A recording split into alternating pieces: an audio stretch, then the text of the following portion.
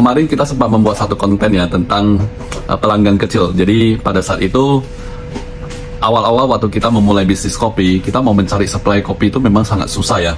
Jadi kalau membeli 10 kilo kopi aja di gudang eksportir itu susah banget.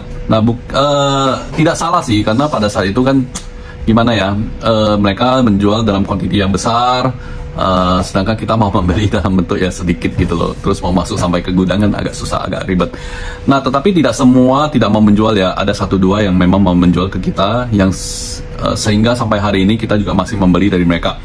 Nah uh, ada beberapa komentar yang mengatakan bahwa seperti itu tidak ada ya. Tetapi ya kalau di bisnis kopi sih masih banyak. Ya itu jadi kita masih ada uh, supplier yang di mana kakek saya membeli dari kakek dia, papa saya membeli dari papa dia, dan saya sekarang berhubungan dengan dia yang generasi ketiga.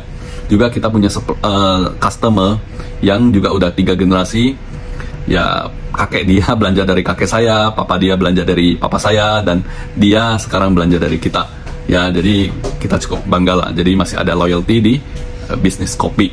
Nah, itu kembali saya mau ucapkan bahwa itu kalau kita menjaga pelanggan kecil saat mereka masih kecil, suatu hari ketika mereka besar, mereka akan menjaga kita. Itu.